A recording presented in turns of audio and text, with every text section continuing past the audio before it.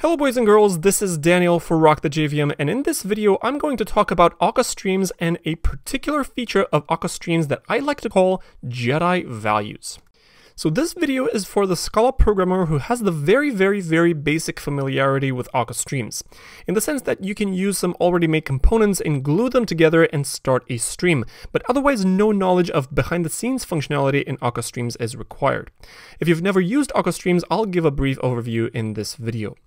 As before, I'll recommend that you code alongside me whenever you need to refer back to the concept of materialized values, so this is the official name of the concept, just refer back to this video. And for your convenience, this video is also available in written form at rockthejvm.com forward slash blog. Alright, so I'm back in my code editor where I'm going to share some insights. So Akka Streams is an implementation of what is called reactive streams. This is a specification that allows high throughput and fault tolerant streams of data by simply plugging in streaming components, and Akka Streams is the implementation of the specification for the JVM. So the components that we can use are sources, sinks, and flows. I'm going to share some code here shortly. So the names are pretty self-explanatory. Sources are producers of data, sinks are consumers of data, and flows are transformations that will transform elements along the way. So let me show you how Akka Streams works. So for Akka Streams, we will need an actor system because Akka Streams components run on top of actors. So I'm going to use an implicit val system as an actor system. The actor system has embedded what's called a materializer so that the Akka Streams components can have their own life. And uh, I'm going to create some streaming components. So I'm going to create, for example, a source as source, and uh, I'm going to import Akka Stream Scala DSL source. So make sure you import the right package over here. And the source can wrap any iterable, any collection. So I'm going to wrap, for example, the range 1 to 1000. So this source is an Akka Streams component that will emit all the elements from 1 to 1000 in succession. So this is a producer of data. Let me implement a flow as flow of int. This needs a type argument. So I'm going to import flow from Akka Stream Scala DSL. So if you're following along with me, just make sure you import the right package, so the Scala DSL package. And I'm going to use flow of int dot map, and for every element that's going in, I'm going to emit twice that element. So this will mean that whatever element goes into this so-called pipe, so you can imagine a pipe that receives elements on one end and uh, emits twice that element on the other end. And uh, I'm going to also create a sink as sink for each int print line. And I'm going to import sink from the Scala DSL package in just the same way. So the source will emit the elements, flow will transform the elements along the way, and sink will consume the elements. These are the streaming components. Now, how do we plug them together? Where we can say source dot via flow to sink, and the result of this expression is what is called a graph. Now, this graph is basically the layout of all the pipes that you are going to use to send and receive data, but the graph is not alive until you call graph.run. So whenever you call run, Akka Streams will actually spin up the available resources so that all these elements can actually flow through this inert graph. So this will actually make the graph come alive. And uh, if I run this application, if I add a main method, for example, I can move this line inside and say graph.run and I should see all the elements 1 to 1000 multiplied by 2 and then printed to the console. So print will actually output to the console all the numbers from 2 to 2000 in steps of 2. So notice we have all these elements printed to the console, 2, 4, 6, 8, and so on and so forth. That's because the source emitted the first 1000, the flow transformed them by doubling them, and all those doubled elements ended up into the console. So this is how we can actually spin up a runnable graph and uh, make it run by calling the run method on it. Now, if you take a look at the types of the streaming elements in question, and I'm going to hover over this source, for example, you will see that the source is of type source, of type int, and this other type not used.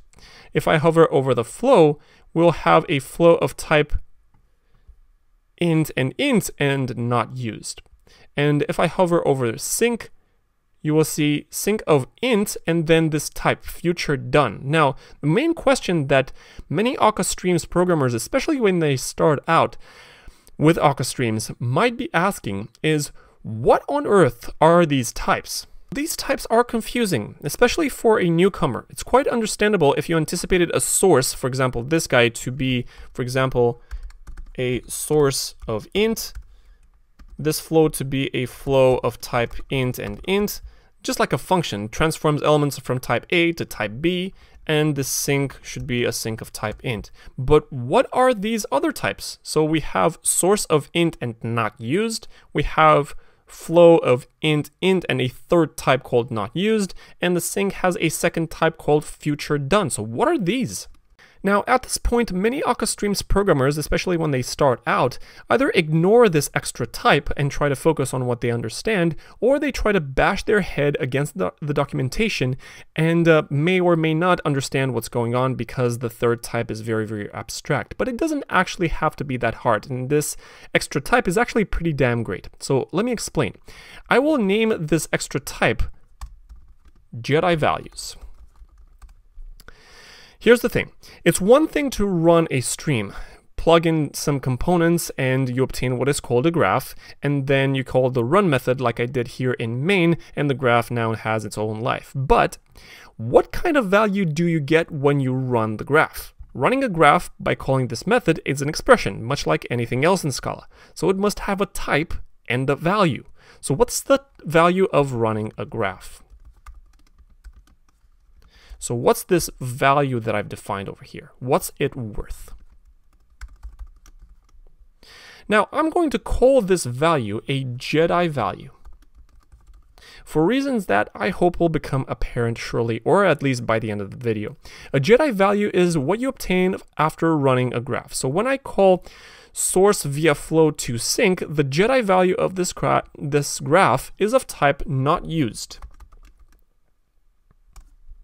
So this not used is a dedicated type in Akka streams, which is a bit like unit and not useful for processing. This is why, why it's called not used. Now, here's the thing with these Jedi values. All streaming components in Akka streams have a Jedi value when plugged into a living, breathing graph. So in this code with the source via flow to sink, I have three components, so the source, the flow, and the sink, and thus three Jedi values somewhere. However, the graph itself this graph can only return one. So then the question becomes, which Jedi value does the graph return? Now, the rule is like this. When you write something like what I've shown here on screen, source via flow to sink, the leftmost Jedi value will be chosen. So the Jedi value of the source, which is not used, will be used here in the graph. So the graph.run call will actually return the Jedi value of the source, which is of type not used. All right, so I hope this makes sense. Now, you can actually combine these Jedi values by calling some special methods. So I'm going to create another graph as source via flow, and I'm going to call another method to mat. Now this to mat function has multiple argument lists. And the first argument is the actual component that I want to plug in, which is the sink, and a combination function of the Jedi values between the Jedi value of this particular component, source via flow, which is the Jedi value of the source, as I said earlier, and the Jedi value of the sink. So you'll have a combination function, let's call this left Jedi value and right Jedi value and I'm going to return the right Jedi value. Okay, now this left Jedi value is not used, but I'm going to leave it here for readability. Now, I have this another graph. Good. Now, if I try to run this other graph, let's call this another Jedi value, as another graph dot run.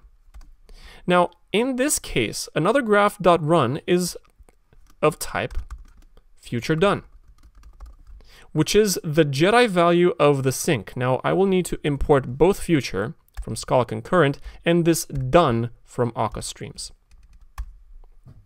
So I will have future done as the Jedi value of this other graph. Now I hope you're not laughing too hard at this Jedi value thing.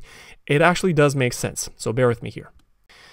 Because after I've returned this another Jedi value, I can actually use this future. This future in particular will tell me when the graph has actually finished running. So I can say, let's move this up top, I can say another Jedi value dot on complete and I can say arrow, let's call this print line, stream is done. Now, I will need an execution context to run this onComplete callback because the onComplete callback runs on some thread and I will need an execution context to do that. And so I will use the actor systems dispatcher. So I'm going to say import system.dispatcher, which is an execution context. You can think of it as a thread pool. All right, so I'm running this onComplete callback and I'm going to print stream is done after this other graph has actually finished running.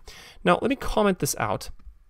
And I'm going to run this application again, which will do the very same thing. It will print all these numbers from 2 to 2000, but this future can actually do something when it's complete. So the Jedi value here actually has a very meaningful utility. It can allow us to tell when the stream has actually done. So notice that in this case, the Jedi value has a meaning, which is that the future can be monitored for completion and when you can tell when the stream has finished running. Also notice that this Jedi value has actually no connection whatsoever to the elements being shoved into the stream. So this function that picks the right argument from the two Jedi values over here is called keep.right. For the very common pattern of picking a Jedi value either from the left or to the right of using this to mat or via mat methods in plugging Akka Streams components. Now, there are various components in Akka Streams that return various Jedi values. For example, if you want to extract the sum of all the elements that go through a stream, you would construct something like a summing sink as sink.fold, and uh, I would pass in some uh, type arguments here, int and int. Much like a fold operator on a collection that starts with a seed, with a zero element, and a combination function that takes the current sum and an incoming element as returning current sum plus incoming element. So this particular sink is a sink that actually exposes another type of, Jedi values. The Jedi value exposed by the sink is of type future int. So the int here will actually contain the sum of all the elements that go through it. For example, let's comment this out. And let me create, let's call this a sum future as, and I will need a graph. And I'm to say source dot to mat and uh, I'm going to pass in the sink, the summing sink, and I'm going to use this keep.right function that we saw earlier. So when I say keep.right, it means that the graph, this source to mat summing sink, will actually return the Jedi value of the summing sink, which is of type future int. And then I need to call run on it. So I will return a future int in this case.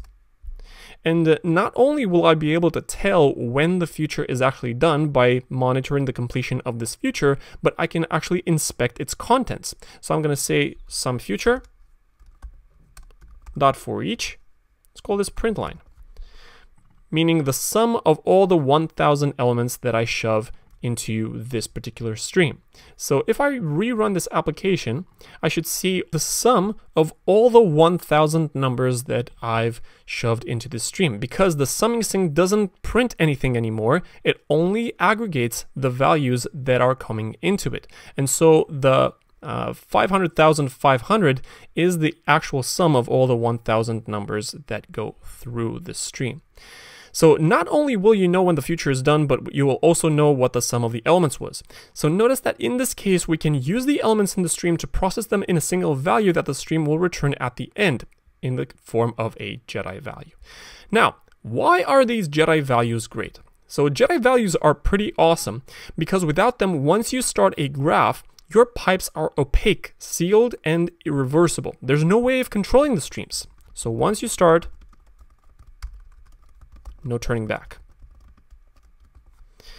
There's no way of controlling streams. I'll talk another time about how to shove data into a stream manually or as a reaction to something. Now, there's no getting any information out of the stream without these Jedi values. There's no processing the values aside from flows, and the world will be a very, very dark and opaque place. So various streaming components in Akka Streams can offer various Jedi values. Sinks in particular usually offer futures in the style of future done or a future containing a meaningful value. So this will often allow you to combine the values inside the streams into one and tell if or when the stream has finished. Some flows offer some control mechanisms like kill switches which allow you to stop the stream at any point. Some sources offer entry points through which you can send the data inside the stream as you wish. I call them Jedi values because they are very powerful. The Akka Streams library calls them materialized values. That's because when you plug in components together, you have an inert graph, so something like this.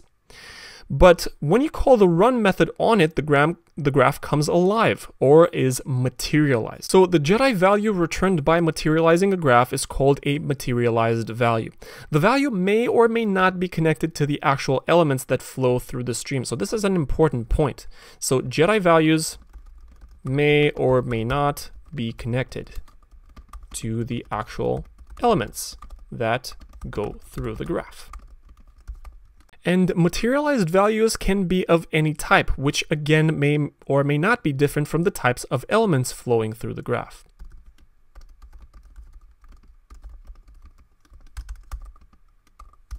Alright, so I hope this was useful. I'm Daniel, and you can find this article at rockthejvm.com forward slash blog in written form, and you can follow me on Twitter and LinkedIn with the links in the description attached to this video. Now, I'm dying for feedback, so please leave yours in the comments, and if you like this video, go ahead and subscribe, because more videos like this will be coming soon. Until next time, thank you for watching.